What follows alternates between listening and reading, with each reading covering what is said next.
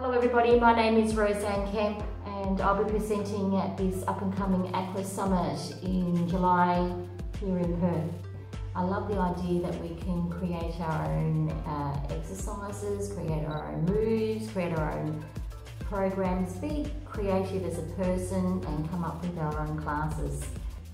This up and coming summit I'll be working alongside Naomi Holmes. Uh, she'll be starting the class and then I'll move in about halfway through.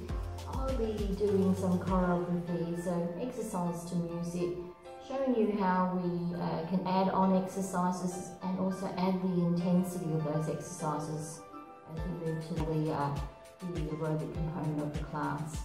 I'll also be doing a little bit of work with dumbbells, so showing you how we can uh, work our muscles in water uh, and also being mindful that we need to have rest breaks, our finger release breaks, or arm release breaks, so upper body recovery. So how you can keep moving and working those dumbbells throughout.